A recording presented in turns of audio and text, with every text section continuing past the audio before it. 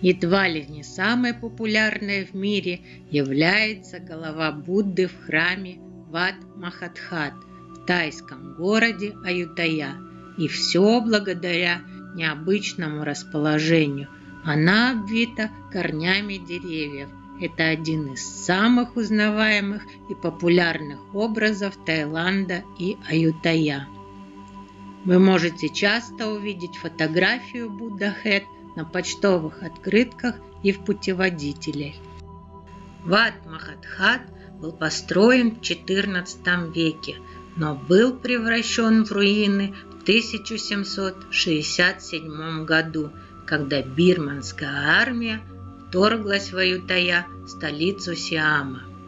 Согласно устоявшейся легенде, бирманцы не только разрушали буддийские храмы, они в первую очередь отрубали головы статуи Будды, тем самым стараясь унизить своих врагов даже в их вере.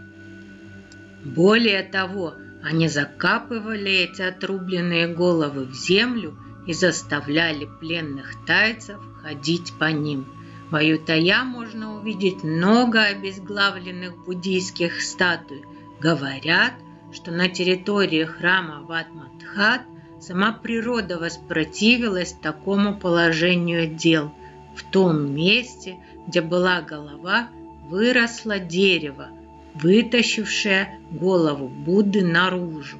Корни дерева продолжают расти, каменное изваяние – постепенно врастает в него.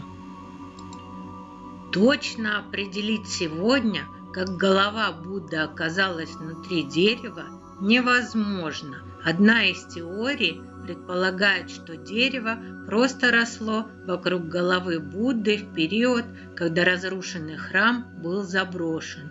Еще одна теория – тайские монахи решили спрятать отрубленную голову Будды под корни ближайшего дерева. Другая теория состоит в том, что вор перенес голову Будды от главного храма, чтобы спрятать ее. Это могло произойти в начале 1900-х годов, когда кладоискатели вели земляные работы в этом месте. Затем, возможно, вор не вернулся за своим сокровищем или не смог унести ее за пределы стен, окружающих храм. Голова Будды была оставлена у стены недалеко от входа в храм Ват Махатхат, где ее можно увидеть сегодня среди корней деревьев, выросших вокруг нее. Сегодня голова Будды Ват Махатхати считается одной из главных святынь Таиланда. Местные жители верят, что она дарит благодать всем, кто ее увидит – Удивительная достопримечательность, голова в корнях священного дерева Бодхи притягивает сюда поклонников Будды со всего света. В это культовое место приезжают сотни тысяч паломников и туристов. Однако голова Будды, оплетенная корнями дерева, не является настолько уникальной, как может показаться. В своих путешествиях мы видели еще два похожих священных места, и одно из них находится совсем рядом с храмом Ват Махатхат, тоже в Аютая. Этот действующий храм находится в северной части Аютая, вне острова, на берегу реки Лоб-Бури. Когда-то он служил королевским дворцом. Внешний вид храма в настоящее время не слишком отличаются от первозданного, поскольку бирманцами он разрушен не был.